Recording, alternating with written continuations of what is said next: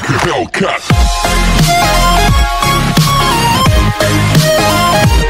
Good morning student, welcome to your SST class. Today I am going to explain chapter 4. The title of the chapter 4 is the Mughal Empire.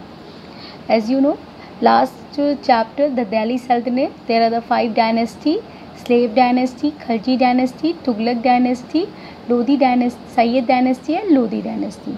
The last king was Lodi dynasty was Ibrahim Lodi. Ibrahim Lodi और बाबर के बीच में क्या होती है? The battle of Panipat in year 5026 और इस battle में बाबर जो होता है, वो जीत जाता है और दिल्ली सल्तनत ख़त्म करके वो एक नई डायनेस्टी स्टार्ट करता है, जिसका क्या नाम होता है?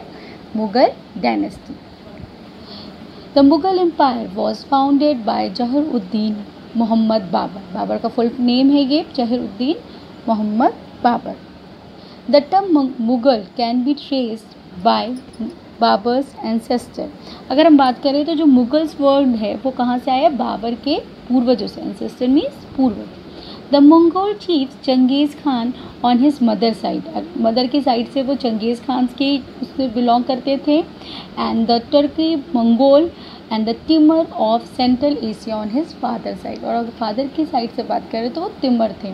तो जो बाबर था, उसने मुगल वर्ड स्टार्ट किया, Babur.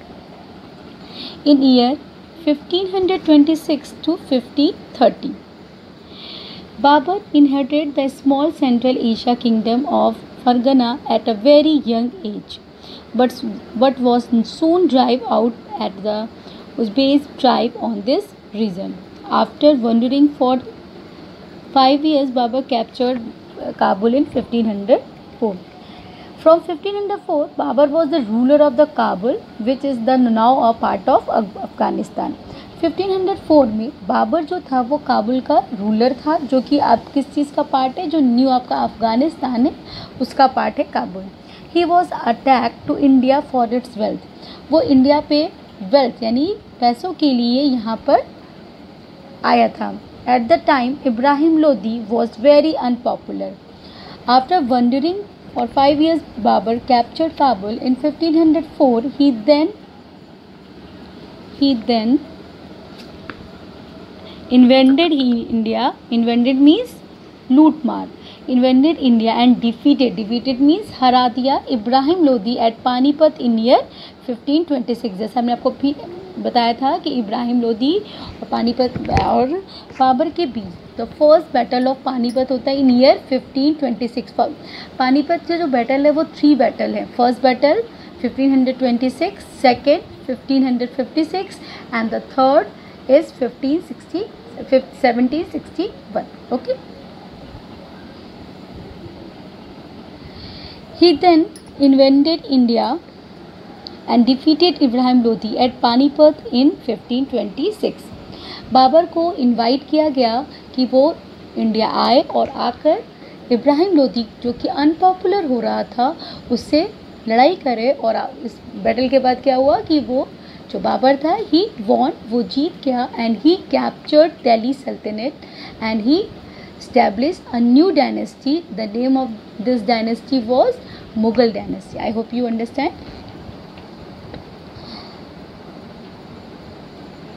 After this Babur occupied Delhi and Agra इस बैटल के बाद वो दिल्ली और आगरा पे किसका वो हो गया? कैप्चर किसने कर लिया? बाबर ने। He made Agra his capital और उसने कैपिटल किससे बनाया? आगरा को। This marks the beginning of the Mughal empire और यहीं से मुगल एम्पायर का टाइम पीरियड हमारे यहाँ स्टार्ट होता है। तो अगर पूछा जाए who founded the Mughal dynasty answer is Babur in year 1526. The first battle of Panipat in year 1526. To whom? Ibrahim Lodi and Babur. Who, who won? Babur and established the new dynasty. The name of the dynasty was Mughal Empire. Okay, let's move. Babur defeated the combined force of Rana Sangha of Mewar and his allies as a Khanwa in 1527. 1526 के one year after one year 1527 में फिर एक battle होती है इस battle का नाम है बैटल ऑफ़ खानवा जिसमें कि Babur defeated the combined force of Rana Sanga of Mewar और यहाँ पर वो राणा सांगा मेवाड़ वाले, जो थे राजा, उनसे लड़ाई करता है। He defeated the chief of Chanderi इसके अलावा एक और बैटल होती है इन ईयर 1528 चंदेरी में।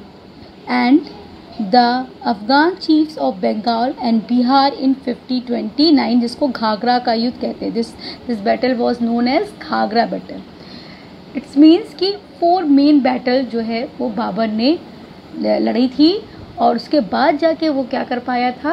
अपनी डायनेस्टी को अच्छे से इस्टेब्लिश कर पाया था और अनफॉर्चुनेटली अपने फिफ्टी थर्टी में उसकी डेथ हो जाती है और वो मर जाता है।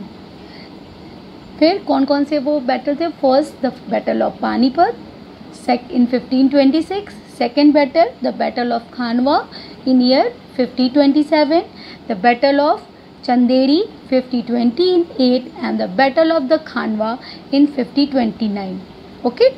He dead in 5030 और इन फोर वॉर के बाद इन 5030 में उसकी डेथ हो जाती है before he could strength his hold over his conquest जब तक वो अपने जीते हुए जो किंगडम थे, उसको बढ़ाता और सब कुछ इस्टेब्लिश करता, इसमें ही उसकी डेथ हो जाती है। Babur was the scholar of the Turkish and Persian language Babur scholar था। किस किस लैंग्वेज का? तर्किस और पर्शियन लैंग्वेज का। He recorded his experience in the Tuzuk Baburi which is regarded as a classic उसने एक बुक लिखी थी, जिसका क्या नाम था? तुझके बाबरी जो कि पर्शियन में लिखी गई थी, और उसमें उसने अपने सारे एक्सपीरियंस को नोट कर लिया इसको हम क्या बोलेंगे? The person who wrote who write his own view या in whose in in his own life autobiography okay तो Tuzuk Baburi is like a autobiography क्यों? क्योंकि बाबर ने इसे खुद से लिखी थी, ठीक है? The novel the which written by the writer himself खुद से लिखता है अपनी लाइफ के बारे में तो उसको बोलते हैं ऑटोबायोग्राफी और बायोग्राफी क्या होती है? जब कोई दूसरा पर्सन किसी दूसरे पर्सन के बारे में, उसकी पर्सनल लाइफ के बारे में, उसके एक्सपीरियंस के बारे में लिखता है तो उसको हम बोलते हैं biography Before, the, before his death, Baba chose his favorite and elder son Humayu as a heir. Humayu in year 5030 to 5040 and 1555 to 1556. In this topic, I will explain next class. Okay, thank you class. Like a.